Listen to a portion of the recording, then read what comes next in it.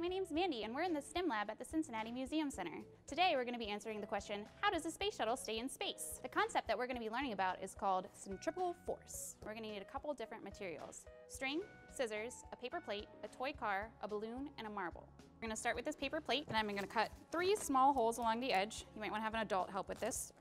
One over here.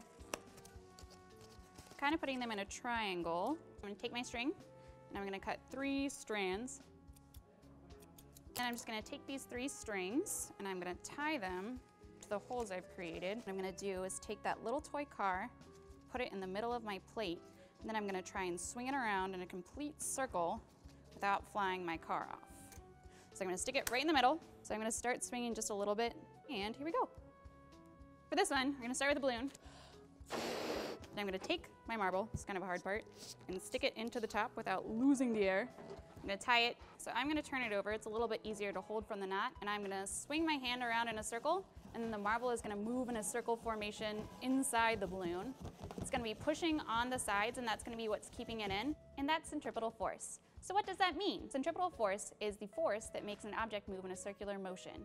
Without centripetal force, instead of orbiting a planet, the shuttle would fly off into space.